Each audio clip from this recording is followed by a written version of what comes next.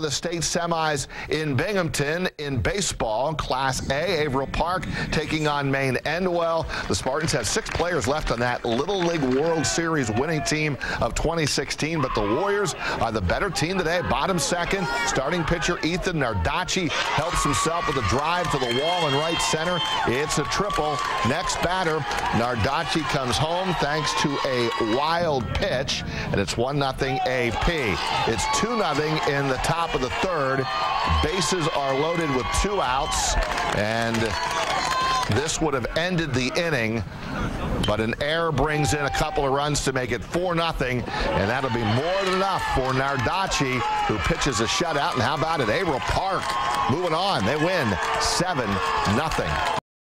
Right, elsewhere, Schuylerville represented the Capital District in the Class B semifinals. Black Horses taking on West Hill, and they would win that game 4 to 2. Here are some highlights in this one. Schuylerville pitched it well today. They defended well today, and they would get it done. And here's some early highlights. This is uh, this is the Averill Park game, and that's a drive that would turn out to be a triple and then later score on a on a wild pitch. That's Nardacci the starting pitcher. And here's the wild pitch that brings in a run. And that made it 1 nothing. And then you got to be able to play some defense. And fortunately, Averill Park did. Maine Endwell did not. And this would lead to a couple of more runs. And how about it? Averill Park, 7 nothing. They're in the championship game coming up tomorrow. Hi, everybody. I'm Kate Calloway with the Toyota Sports Report. Who doesn't love a good Cinderella run? An underdog getting hot at the right time. Well, Averill Park is that team in the playoffs, going from a six seed to the state final. The Warriors need to hold off Hamburg to lift that hardware for the first time. Ducks on the pond in the first, and Ethan Nardacci at the dish, and that spells trouble for Hamburg. Ethan hits one deep to center, and that'll play to pair. And he is in with a triple. What a way to start this thing out. Now it's Hunter Willett up there with bases juiced. Do your job, kid. That's what he does. Puts it in play, and that'll play to another. Make it three zip. Hamburg down to their last out, and AP seals it with a K. What a run. What a season. The Warriors, the Class A champs after blanking Hamburg. Feels great. Everyone uh, doubted us the whole way through it, whether it was sectionals, regionals, and out of state. So it feels great to be where we are and prove everyone wrong. News 10 ABC Sports. Section 2 has claimed the past two Class A baseball state titles. Today, Averill Park looked to make it three straight. Warriors head coach George Brooks looking for his third state title, first with AP, Ethan Nardacci helped the Warriors to a lead with a two-run triple in the first. The AP defense stellar from there. Brady Mazzeo gets out of a bases loaded no-out jam with a double play. Stephen Koval he is a laser behind home plate to neutralize another Hamburg threat, and the Warriors recorded their second shutout in as many days. This time it was junior pitcher Brady Mazzeo recording the donut. He strikes out the final batter to crown the Warriors champs for the first time in school history. This one feels amazing. Going into this, uh, we didn't know what to expect from the other team, and after seeing what just happened, we were uh, shocked. Our energy was always there. Helps us win these games. You know, my hits. I was shocked with what we did today. Big Board Sports with Ashley Miller. Good evening, everyone. Let's not waste any time. We have Section 2 teams playing for state championships all over creation today. Section 2 baseball went 3 for 3 in Binghamton yesterday in the state semifinals, so all three played for titles today. In Class A, the Averill Park Warriors taking on Hamburg out of Section 6. The Warriors score three runs in the first three innings. Of course, I wasn't there for that, but we're going to show you a drive to the wall and left by Michael Warmith. He chugs on in there for a stand-up double. And starter Brady Mazzeo, well, Mazzio, rather, puts together a stellar outing. Junior strikes out Braden McGuire in the top of the seventh, and the Warriors are two outs away, then one out away, and Mazzio K's James Simon Selly to end the game. It's a complete game shutout for Mazzio. Averill Park wins the Class A state championship, the first baseball title in program history, and the third for head coach George Brooks. I don't even know where to start. I did not think any of us would be here right now, but I mean, we won state. It's crazy. Just tremendous poise from these guys in the field. You know, it's. Uh, I said to them, you know, you try to treat it like another game, and you say that hoping they're going to do it, but boy, they do it every single time. They go out there and they are so relaxed, so calm. I just couldn't be more proud.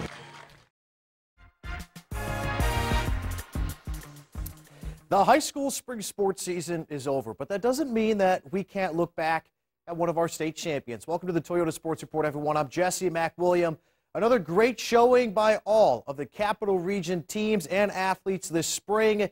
This year was headlined by the Averill Park baseball team from a five seed in sectional play to New York State Class A champions. What an unbelievable ride from the Warriors this spring. Averill Park played their best baseball of the season at the right time, and it showed. Not many figured Averill Park could or would make it this far, but that was all fuel to their fire. It's all credit to the mindset that the Warriors embraced. To be able to play in June at this point in the season uh, just speaks to, to, great lengths what kind of kids we have. You know, they're just uh, the hard workers. Uh, I was just incredibly pleased at how how poised they've remained over the whole course of the sectionals and regionals and state run. I did not think I was going to be here. None of us did, but we came in first practice. We were like, we're going for the states, and we're here, and we won. It's crazy.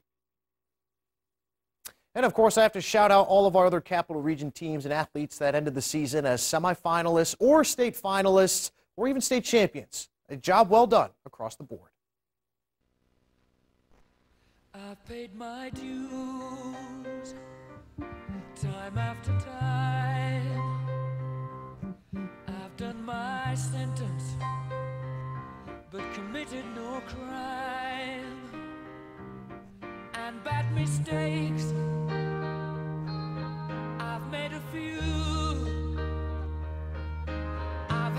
Russian.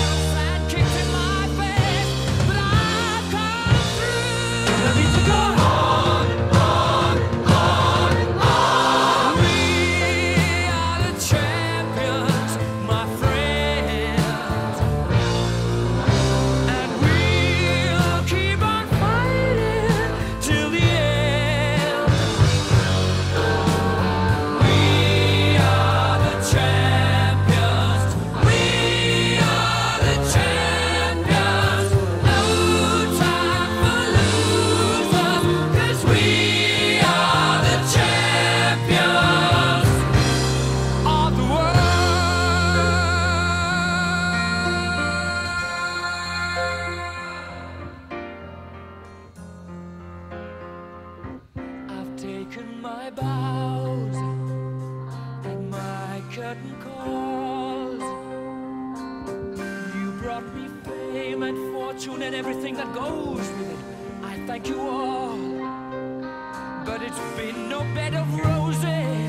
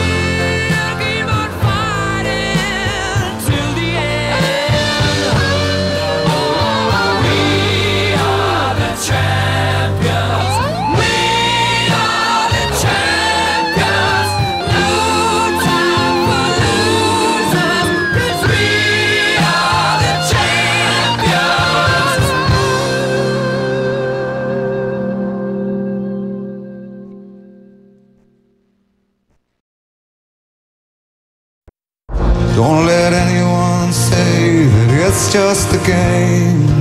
For I've seen other teams and it's never the same.